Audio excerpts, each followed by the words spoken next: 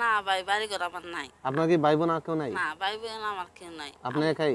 আমি একাই। মা বাপ নাই? না বাবা মা আমার কেউ নেই। তা মনে করে তা কেউ নেই। গিয়ে পড়ে। তা কেউ না গিয়ে পড়ে?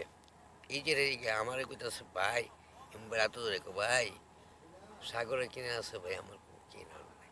এই কিনা নাই গিয়ে আসতে দিলাম আমি তারা আসতে দিলাম। মানে আপনি একজন নিরাশ্রয় সে জায়গা থেকে আপনি আবার আরেকজনকে আশ্রয় দিয়েছেন। তিনি নিজেই একজন নিরুপায় মানুষ বাড়ি থেকে বের হয়ে এসেছেন পনেরো বছর হয়েছে। অর্থাৎ যখন তিনি ওনাকে বিয়ে করেছেন তখন বাড়ি থেকে বের হয়ে আছে আর দশ বছর হয়েছে। তারপরে আবার সেই জায়গায় তিনাকে এসে আরেকজন বলছেন যে আমি নিরুপায় মানুষ আমাকে একটু আশ্রয় দিন। সেখান থেকে তিনি ওনাকে বিয়ে করে আবার উনি সেখানে আশ্রয় দিয়েছেন। ভালোবাসার অসাধারণ একটি নজির স্থাপন করেছেন এখানে। কাকু আপনার নাম কি? আলাউদ্দিন। এখানে কতদিন থেকে থাকেন? কেন এখানে থাকেন কেন? কিছু কেন বাড়িঘর কি হয়েছে? বাড়ি গতর তোমার বাপ আমার বাপটা থাক- থাকতে কে নিয়ে গেছে? আমার আছে। হুম? চাষারা বাইরে চাচারা বাইরা বাকুরে নিয়ে গেছে। বাড়ি কোথায় ছিল আপনার? আমার বাড়ি আছে কোন জায়গায়? কোটেই না কটিয়াদি কিশোরগঞ্জ জেলায়। আচ্ছা আচ্ছা মামারা মানে আপনার চাচারা বাপেরা চাচারা বাটিয়ে নিয়ে গেছে তারপর থেকে আপনারা কিছু পান নাই? আপনারা ভাই বোন কজন আমার আমরা তিন ভাই ও, তিন ভাই এক বোন আচ্ছা আপনি কয় নম্বর? আমি এসে মাইজু আপনার বাকি ভাইরা কি করে? আমার ছোট ভাই মারা গেছে এই তারিখে। ইদানিং মারা গেছে? জি। আচ্ছা আর বড় ভাই? বড় ভাই তোমার যাওয়া এই অবস্থা বড় ভাই তাকে ও শ্বশুর বাড়ি আচ্ছা আচ্ছা উনি মানে এখন আপনার কি ছেলে সন্তান আছে? আমার এক ছেলে আছে। এক ছেলে আছে কি করে? ছেলেতে ছেলে রয়ে গেছে তোমার তার চাচা। কোথায় নিয়ে গেছে? এই চাচা তারে আহ, উনি চাচা তাকে কোথায়? কটিয়াদিতে? দিতে আচ্ছা উনি কি আপনার ওয়াইফ আচ্ছা আচ্ছা। মানে আপনাদের এক ছেলেই এই ছেলে নিয়ে গেছে ওনার চাচা। এখন আপনি এখানে মানে যে থাকেন এখানে খান কীভাবে? খাবার কই পান? থাকেন কীভাবে?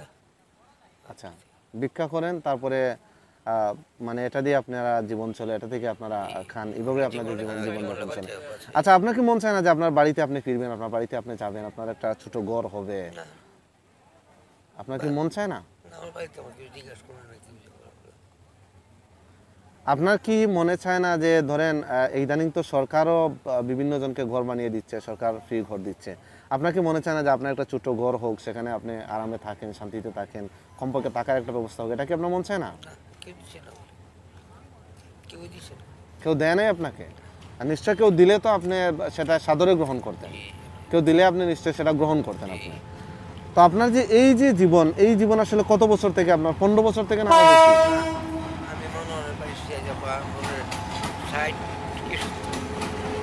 আপনার বয়স কত এখন? তেষট্টি। তো তেষট্টি বছরের কত বছর আপনি পরিবারের সাথে ছিলেন? আমার পরিবার বাহাত্তর না না আপনার পরিবারের সাথে আপনি ছিলেন কতদিন? পরিবারের কাছে পঁচিশ বছর। পঁচিশ বছর পরিবারের সাথে ছিলেন। তাহলে তো আপনি অনেক বড় হওয়ার পরে পরিবার থেকে আপনি ছিন্ন হয়েছেন। তো তারপর তারপরে আপনি পরিবার থেকে ছিন্ন হওয়ার কারণ হচ্ছে ওই আগে যেটা বলছেন আপনি যে আপনার চাচারা জমি সম্পত্তি বাক করে নিয়ে গেছে আপনারা কোনো কিছু পাননি সেটাই তো? আচ্ছা আচ্ছা। তো এখন আন্টিও তো আপনার সাথেই থাকে। বিয়ে করছেন কোথায়? আমার প্রথম পরিবার মারা গেছে। আচ্ছা। মারা গেছে পরে আছে। আচ্ছা। এর আমার এই আমার হয়তো ইয়ে তার বিয়ে করছে দশ বছর আচ্ছা। তো উনারে আপনি বিয়ে করছেন যখন আপনি ছিন্নমূল্য অর্থাৎ আপনি পরিবার থেকে যখন আলাদা তখন আপনি ওনাকে বিয়ে করছেন। তা আপনাদের তো একটা জিনিস আপনাদের ভালো লাগছে সেটা হচ্ছে যে বাড়ি নেই ঘর নেই খাবারের ব্যবস্থা নেই কিন্তু স্টেশনের লাইটের ভিতরে আরামে আসে কিন্তু আপনারা একটা মানে সাংসারিক জীবন তৈরি করে ফেলেছেন। এটা ঠিক আছে একটা মিল মোহব্বতের যে বিষয় আপনাদের সেখান থেকে আন্টিকে আপনি কোথা থেকে বিয়ে করেছেন আমার বাবা করছে মনে রেন আমি এবার মনে রেন ওইটা মনে মানুষের হোম করতে পারি। আচ্ছা আচ্ছা। এই আমার বোঝা নাই। আচ্ছা। বুঝতে পারছি। তো আপনার আসলে এই মুহূর্তে আহ, ধরেন আমাদের আমরা যে ভিডিওগুলো বানাই মূলত আপনাদের মতো ছিন্নবুল মানুষগুলো নিয়ে আমরা কথা বলি। এবং কেউ যদি আপনাদেরকে সরাসরি হেল্প করতে চায় তারা এখানে আসবে। আপনার এখানে আমরা যে পরিচয়টা দিচ্ছি ওই পরিচয় তারা এসে আপনার সাথে যোগাযোগ করে তারা আপনাকে সহায়তা করবে।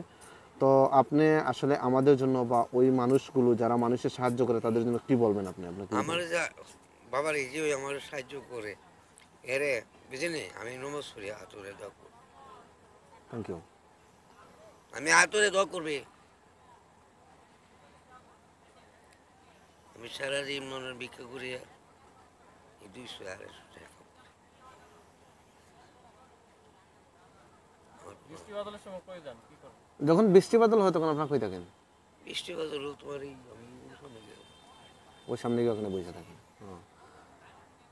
আন্টি কি অবস্থা? আপনার সংসারে তো দশ বছর হইল। কেমন চলতেছে সংসার? আমার মনে হয় রক্ষা ভালো নেই। সবাই আমার বাড়ি নাই আমার আমরা ভাই আপনার বাড়ি কোথায়? আমার বাড়ি ভাই আমি বইরে পাসলাম ধরো বইরে তখন হয়ে গেছে যে হয়ে গেল ইয়ে পড়ছে।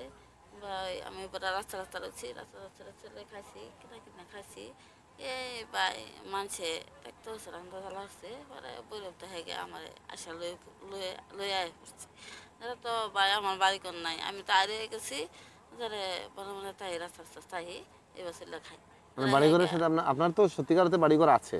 না ভাই বাড়ি ঘর আমার নাই। আপনার কি ভাই বোন আর কেউ নাই? না ভাই বোন আমার কেউ নাই। আপনি একাই? তো আমি মা বাপ নাই? না বাবা মা আমার কেউ নেই। তা মনে করে তার কেউ নাই। গিয়ে থাকি।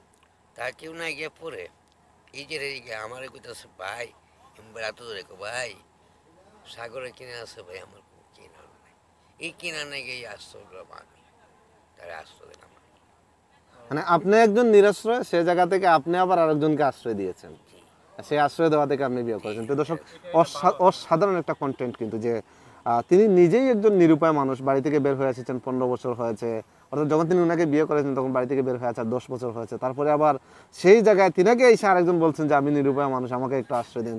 সেখান থেকে তিনি ওনাকে বিয়ে করে আবার উনি সেখানে আশ্রয় দিয়েছেন। ভালোবাসার অসাধারণ একটি নজির স্থাপন করেছেন এখন। আপনাদের সংসার কেমন চলছে? এখন সংসার ভাই ভালাই চলছে। ভাই, আমার যে, আমি যে বাড়ি ঘর আগে গেছি, ভাই, আমি ঠিকানা জানি, আমি জানছি, ভাই, আমার ভাই দশ বছর হয়েছে বছর বসেছি যারা ফলে আমার এখন খাবার কেউ দে না। পরে ভাই আমি এবার চলি এবার থেকে আমাকে তুলি এবার খাই। মানে হ্যাঁ গ্রামের যা যারে খাও যারা কাম টাম করি। আজকাল শুক্রবার যাব কোথায় যাবেন? যে ইয়ার যাই আম বাজারে টাকা টাকা তুলি আচ্ছা আচ্ছা। মানে বাজারে ভিক্ষা করেন এটাই তো? হ্যাঁ হ্যাঁ বিক্রি আচ্ছা আচ্ছা। তো যাই হোক কাকু আমরা তো আপনাদের নিয়ে কাজ করি এবং আমরা চেষ্টা করব। আর নেক্সট টাইম আজকে আসলে আমাদের অলরেডি দুই তিনটা শিডিউল প্রোগ্রাম ছিল। হ্যাঁ। করিয়া বুঝলি?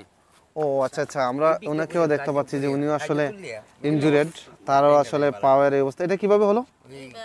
ভাই কতদিন ধরে হেরা ট্যাঙ্গু ছাত্রে ফুলে গেছে? অনেক ফাউলে এবে বাই চলে এবে খাই এটা কি কীভাবে হয়েছিল ঘটনা? ভাই গাড়ি চলে যে পরে গেছি পরে গাই এনে আড্ডা এনে গেছে গা রক্ত কালা হয়ে গেছে লেগে ফুলে গেছে। আচ্ছা।